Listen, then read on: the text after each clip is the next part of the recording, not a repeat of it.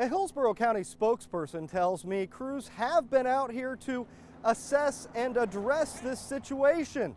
Larry Goff says, Really? You go over there for $300,000 homes, they'll fix stuff for them. But here where low income people live,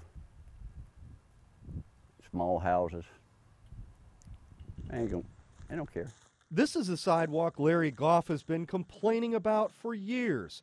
He feels his complaints have fallen on deaf ears. Does it make you feel like you don't matter? Yes.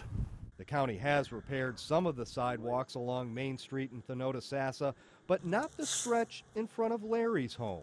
That's a real bad tripping spot. You see how neat? There, there.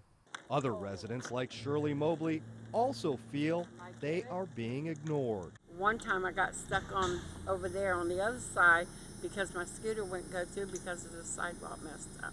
When we first introduced you to Goff in January, he was more upset at the broken promises regarding his broken sidewalk. They put this on the door June, and it said it would be completed by the end of June. That was last June.